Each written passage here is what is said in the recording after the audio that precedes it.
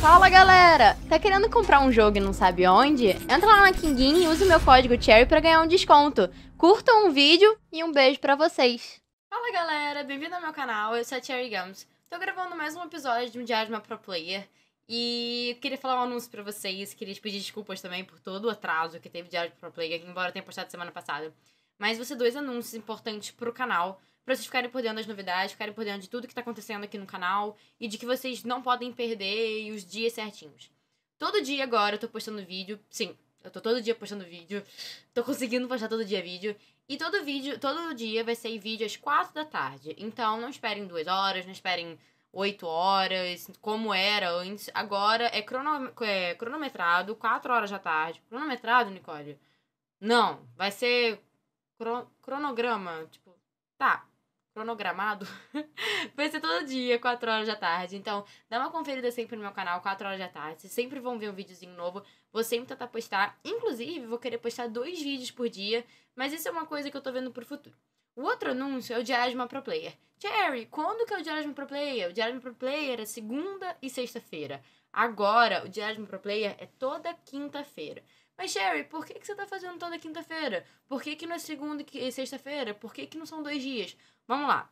Dois dias para mim tava ficando muito puxado e também tava faltando muito conteúdo. Tipo, eu às vezes tava puxando assunto com vocês, então eu não vou estar trazendo um, um conteúdo tão bom para vocês. Eu também não tinha muita novidade. Eram dois diários numa semana, ou seja, eu tinha que falar sobre assunto que talvez eu já tivesse falado. E eu não tava, não tava gostando, tava ficando meio, meio chato. Daí eu resolvi colocar quinta-feira. Cherry, por que quinta-feira? Campeonato de Rainbow Six Siege, nós temos Elite todo domingo. Nós temos a BGL toda segunda e quarta-feira. Ou seja, eu tô pegando o embalo de domingo até quarta-feira de todos os campeonatos da Elite para falar quinta-feira das novidades fresquinhas do campeonato. Tudo bem que realmente segunda-feira era, era muito mais fresco as notícias do domingo, que é da Elite. Mas agora eu vou fazer um combinado e espero que vocês gostem. É o tempo que eu prefiro trazer para vocês um conteúdo íntegro, um conteúdo certo, do que ficar aquela lamentação que realmente estava. E eu já falei os motivos, realmente eu tive algumas complicações aqui e ali, e não deu muito, muito tipo, pra gravar direito, entendeu? Então eu fiquei devendo para vocês um pouco desses dias de Asma Pro Player. Então lembre-se, vídeo todos os dias, 4 da tarde, e de Asma Pro Player todos os dias. Todos os dias. De uma Pro Player toda quinta-feira, 4 da tarde também. E vamos lá, vamos falar sobre Diário Pro Player. E como sempre eu começo, eu começo pela BD. E talvez eu tenha que pegar uma colinha, mas eu vou lembrar. Vamos falar sobre Rainbow Six Siege primeiro. Na Elite de domingo, nós ganhamos. Nós ganhamos da PEN contra a PEN na Elite. Nós ganhamos muito bem né, na, contra a PEN. Foi 2 a 0 em mapas. Nós ganhamos o primeiro mapa de 5 a 1 que foi Chalé, eu acho. E o segundo mapa foi de 5 a 3 5 a 3 ou 5 a 2 Lá no banco, mesmo com contínuas quedas de jogadores, todo mundo tá falando, ah, ataque DDoS, ah, isso aqui, ah, remake. Gente, não temos nada confirmado com a PEN, nada, tipo, a PEN com certeza não fez nada de errado, porque a PEN também estava caindo. Então não vamos atacar um time que, embora nós tenhamos nossa rixa, vamos manter a linha, vamos manter sempre a educação que mamãe ensinou pra gente, mamãe ensinou pra mim, tia Cherry tá ensinando pra algumas pessoas para não ficarem falando besteira, a não ser que, tipo, não pode falar besteira nunca. Mas se caso eles vierem falar alguma coisa, que não é o caso, mas como aconteceu no passado, se quiser defender, defenda, mas sempre com educação. Então vamos, vamos manter sempre um, um fair play, um, uma comunidade cada vez mais unida. E por falar em comunidade unida, todo mundo também tá me perguntando: Cherry, você vai falar sobre a treta com a United no Diário Pro Player? Cherry, você vai falar sobre alguma coisa que aconteceu com a United ou com outros times? Então, eu prefiro me abster de comentários justamente pelo fato de. Não é que eu não tenha coragem de falar, eu tenho coragem de falar. Mas eu prefiro me abster de comentários porque isso traz a comunidade cada vez mais tóxica. Cada vez mais salgada, como é a comunidade do Overwatch, que é muito salty. Mas eu prefiro me abster justamente pelo fato de eu não causar mais confusão. E sabe, Deus tá vendo isso tudo e é isso. Não tenho o que falar, já rolou, águas passadas, não tem nada a ver com isso. As regras foram feitas, tá tudo certinho agora. E agora é só focar no campeonato. Então vamos voltar. Rainbow Six Siege ganhamos domingo contra a PEN. E perdemos, infelizmente, na BGL 2 a 0 mas foi um 2 a 0 que são dois, são, são dois jogos de qualquer forma. Mas perdemos contra a NTZ, mas foi um jogaço, sabe? Não foi tipo perder de 5 a 1 5 a 0 Foi um super jogo, mas perdemos. Foi 5 a 3 5 a 3 Primeiro banco, Clubhouse. Segundo mapa, Orion, lembrei. E ainda estamos muito bem, então, não muito bem. Nós temos uma, uma vitória na BGL, uma, um empate na BGL e uma derrota na BGL. De sete jogos ao total.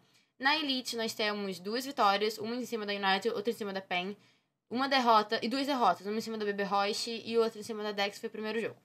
É... Bom, resumindo, do Rainbow Six Siege PC é isso. Rainbow Six Siege Xbox. Nós precisamos ganhar somente um jogo para nos classificarmos para o G4, que seria é tido como o presencial, né, que é de PC, e há boatos de que a, a Ubisoft vai fazer um presencial de Xbox. Então fiquem ligados, falta só um joguinho pra gente classificar, mas não vai ser fácil, porque são jogos super importantes agora, são contra os melhores times do cenário, do cenário. Perdemos no último jogo contra a Dex, foi um jogo muito legal, mas perdemos.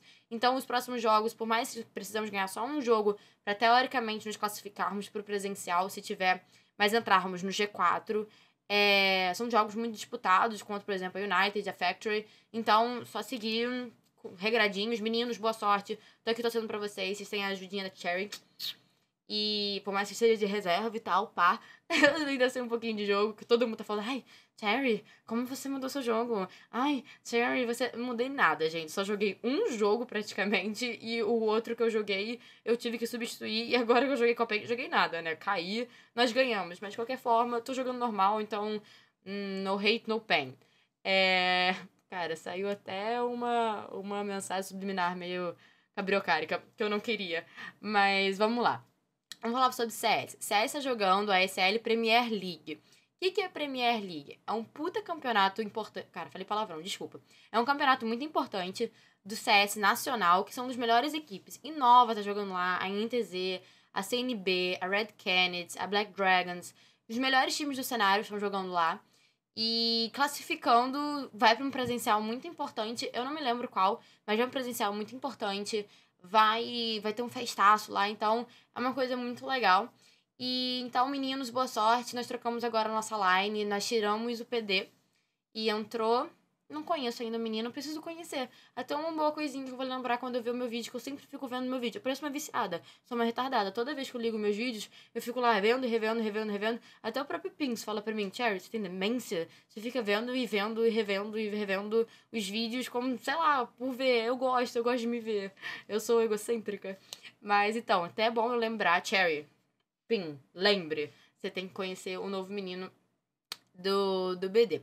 Por falar em BD, do BD de CS, por falar em novo menino, nós temos uma mudança recente na nossa line de Overwatch. O Zac Efron, que é o Dyron TV, que ele mudou. Por favor, sigam, vou colocar aqui no link da descrição os canais novos dos jogadores que vocês têm que seguir. Vocês têm que seguir para ajudar a BD. Mas o Dyron TV, que é o antigo Zac Efron, que ganhou presencial lá com a gente, lá na BGS, ele foi substituído agora pelo, pelo Kurok. O Kurok é o novo suporte de Overwatch na Black Dragons. Muitas pessoas estão vindo falar Sim, são várias comunidades, né, gente? Eu tô falando de Rainbow Six Siege, que é o meu alvo, alvo principal, né? O meu público principal. Mas existem mil outros campeonatos que eu também estou por dentro, que eu também estou sabendo, que eu também estou me informando, correndo atrás, dando dicas, dando conselhos. E é uma puta função legal, mas cansativa também. Mas, é... O que, que eu ia falar? Puta, esqueci. Mas enfim, o, o Kurok é um novo suporte no Overwatch. Ah, lembrei. Muitas pessoas estão vindo falar: Ah, Cherry, é, você acha uma boa ideia? Ah, Cherry, é, line que ganha não se mexe.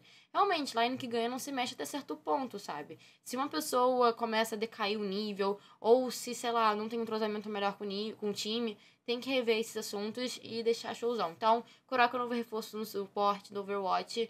E espero que seja, seja muito bem-vindo. Espero que a torcida te apoie cada vez mais e que a gente consiga levantar algumas taças que vai ter anúncio, eu já disse para vocês, vai ter anúncio daqui a pouco sobre o campeonato é, oficial de Overwatch para vocês ficarem por dentro da comunidade mais salgada do Brasil. Embora seja o Quake, mas é a comunidade mais salgada do Brasil. Mas vamos lá. É, falei sobre isso. O última coisa, o último anúncio para falar, o Point Blank ganhou, mas o último anúncio para falar para vocês é sobre o Rocket League. Rocket, ah, Cherry, BD tem no Rocket League? BD tem no Rocket League. Rocket League agora é, conseguiu se classificar para os playoffs, são, são os playoffs do Campeonato Latino-Americano do Rocket League. Então, gente, espero para vocês a torcida. Vou colocar o link dos meninos aqui no canal na descrição. É, o link da, das lives e o link do canal dos meninos Rocket League. Vou colocar um monte de link aqui no canal. Justamente para vocês verem, da descrição, justamente para vocês verem darem um apoio para BD. BD tá precisando muito apoio de vocês, nós estamos crescendo muito, nós, chegamos, nós estamos chegando numa meta muito grande. Nosso alcance no Facebook passou de 100 mil, assim, tá sensacional. Nosso, nosso alcance, nossas curtidas, cada post nosso no Facebook não consegue ser menos que mil likes. É muito legal isso, gente. E justamente eu sei que eu tô fazendo um trabalho muito grande nisso. E muitas pessoas me elogiam por esse trabalho. E muitas pessoas falam que se inspiram e que gostam muito. Então, só tenho a agradecer a vocês, ao público, que realmente está sendo muito importante pra gente. Esse apoio, esse sufoco, tudo isso. Muito obrigada. E é isso, Go BD. Agora vamos falar sobre o Diário de uma Pro Player. Cherry, tem algum tema específico hoje? Não, não tem nenhum tema específico. Eu vou falar sobre a nova atualização, o novo patch 4.2 Rainbow Six Siege, só para vocês ficarem por dentro. Mas é algo que eu falei ontem no canal, que foi sobre o novo patch, mas eu vou dar uma, um, um, resumão para vocês. Cherry, o que, que isso pode mudar no competitivo? Cherry, o que aconteceu? É, por que, que a Ubisoft fez isso? Então, alguns bugs foram corrigidos e eu acho que esse novo patch veio justamente para arrumar umas coisas que há muito tempo no canal, no canal, muito tempo no jogo não estavam sendo arrumadas, como por exemplo, o próprio lance do, da nova granada explosiva, né? A nova granada explosiva, ela, vocês podem ver no meu, no meu canal, no meu vídeo que eu coloquei ontem, ela é diferente de uma granada normal. Ela explode assim que ela toca uma superfície. Eu vou fazer um, uma análise crítica sobre essa nova DLC.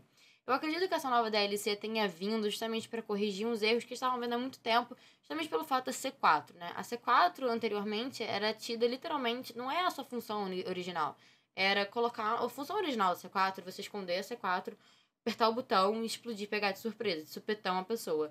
Mas não tem como fazer isso no Rainbow Six, porque ela faz o barulhinho.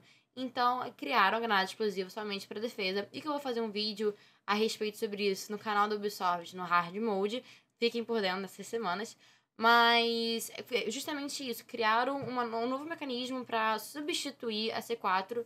E esse novo patch veio com muitas correções legais, inclusive o, o buff, não, o nerf do, do Blackbeard, que o Blackbeard, sinceramente, tava tendo um maior problemão, né, gente? Todo mundo morria de medo de dar a cara e mudou muita coisa. Mas, Cherry, o que, que isso vai alterar no competitivo? Cherry, vai poder usar esse, essa DLC no, no, nos novos campeonatos agora? Sim, a nova DLC vai ser usada, não tem nem como não usar, porque já é do jogo. Se fossem agentes novos, tipo, você conseguiria bloquear. Não tem como você bloquear. Você já vai poder usar nos novos campeonatos agora no domingo e na quarta-feira que vem. E a DLC vai mudar muita coisa no competitivo, porque tá tornando o jogo cada vez mais esquilado. É, ah, Cherry, você tá chorando? Ah, Cherry, você tá falando uma coisa. Sinceramente, eu fiquei muito triste com o jogo quando ele tava com uma fase somente de shot, sabe? Shot, pra mim, não tô falando que não tem skill, mas é muito mais perto, né? É, perto o, o range, tudo perto, do que simplesmente você mirar e ter uma mira longa, boa. E o jogo cada vez mais começou a perceber isso e tá muito mais esquilado. Agora, se você joga as ranqueadas, tá super bem. Eu gostaria muito que vocês também apoiassem o papel da Ubisoft. Não tô sendo paga para falar isso. Temos que apoiar, cada vez crescer mais o cenário. Apoiar o papel da Ubisoft. A Ubisoft está fazendo de tudo e mais um pouco para corrigir os erros, corrigir os bugs. Não temos praticamente mais cheaters no, nas ranqueadas. E é justamente essa DLC veio para melhorar o cenário competitivo. Eu não vejo essa DLC somente para um ajuste do jogo. Eu vejo essa DLC como um ajuste do competitivo. Porque cada vez mais o competitivo está ficando esquilado. Tudo bem, tem umas coisas que realmente precisam mudar. Muitas prints no grupo, tipo, você mata, você, a sua kill cam, você morre, aí kill cam é a cabeça da pessoa assim pra trás. Você deu um headshot nela e não morreu. Tudo bem, tem muitas coisas que o jogo precisa arrumar. Mas sabe, deem um mérito pra Ubisoft. A Ubisoft tá conseguindo fazer um papel bem legal e também deem crédito pros jogadores. Vamos fazer o competitivo crescer cada vez mais. Nós dependemos disso. Ano que vem, 2007, eu tenho muitas notícias muito importantes que eu só vou poder falar, acredito que dentro de outubro, novembro, quando, eu for para um papel que eu vou fazer na Globo. Então, são coisas muito importantes, muita coisa importante está vindo pro cenário competitivo brasileiro, porque a gringa sempre foi maior então, nós temos que agradecer mesmo o papel da Ubisoft nesse, nesse sentido, porque ela está fazendo um papel muito importante. É muito difícil você ver uma empresa que investe tanto. Ah, mas a Ubisoft é rica. Beleza, a Ubisoft é rica. Mas que empresa está investindo no Brasil, sabe? Que empresa que lá fora investe tanto que aqui no Brasil não investe? Eu não vejo a Blizzard, por exemplo, investindo, Activision, EA Games. Eu vejo somente a Ubisoft investindo com muita vontade e deem um mérito, gente, porque o jogo tá cada vez melhor e o jogo tá cada vez mais esquilado. O que, é esquilado? Cada vez com mais skill, com mais skill pessoal. Skill é habilidade pessoal. Então, gente, deem um crédito e curtam cada vez mais o cenário competitivo. E um grande favor que eu pedir para vocês: vão evitar, eu da hate, porque isso só traz besteira pra comunidade. Mas, Sherry, por que, que você tá falando isso? Você tá sofrendo alguma coisa? Não tô sofrendo nada. Eu tô comparando ao campeonato de, de Overwatch, que eu recentemente vi dos meninos que eles ganharam, inclusive, no Rei da Bate. Eles estão, acho que, em primeiro lugar no Rei da Bate. Mas vamos lá. É, por que, que, você tá, por que, que você tá falando sobre isso?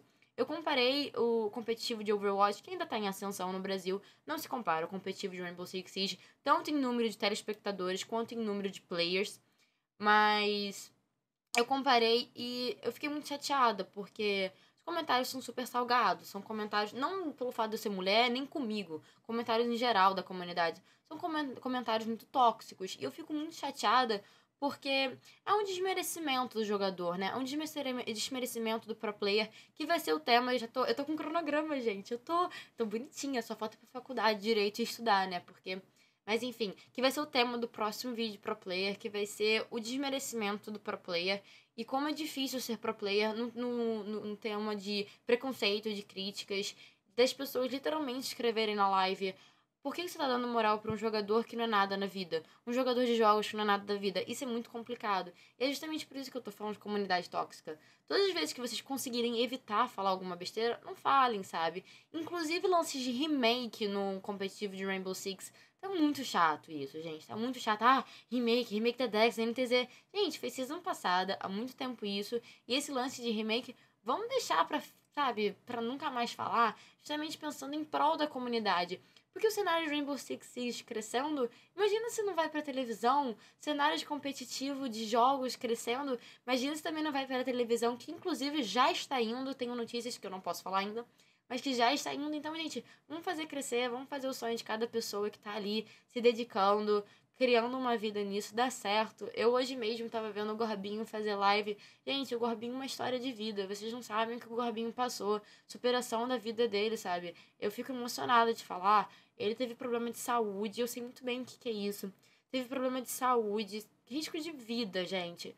Conseguiu melhorar, começou a jogar, superou no jogo tá toda hora jogando. Ele trabalha de cabeleireiro. Ele sempre, sempre foi uma pessoa muito humilde. Hoje, agora, duas, três horas da manhã, tá ele jogando ranqueada, tentando melhorar. E vocês acham que isso não é uma brincadeirinha? É um sonho de uma pessoa. Então, não vamos trazer a comunidade cada vez mais tóxica pensando nos seus ídolos, pensando nos seus. no sonho das pessoas. Porque cada um aqui deve ter um ídolo. Cada pessoa aqui deve ver, pô, a Cherry é uma inspiração para mim, assim como o Gohan é, assim como o Zig é, assim como o Intact é, assim como o PZD é. Então, vejam só por esse lado de cada pessoa tem um sonho. Não estrague o sonho do outro, desmerecendo o outro e fazendo com que a, a comunidade decaia. Vamos todo mundo deixar uma comunidade cada vez mais bonita, porque aí o seu ídolo vai crescer e você vai conseguir ver seu ídolo cada vez mais feliz, inclusive você. Imagina se você também não consegue gostar do jogo, entrar no campeonato, se tornar uma pessoa importante no cenário que vai crescer muito. Então é isso que eu tô pedindo para vocês. Não foi certamente não foi um tema grande, mas foi um conselho, um, um pedido, um, aba um abafo, um esqueci a palavra um desabafo para vocês. E é isso, gente. Espero que vocês tenham gostado do vídeo.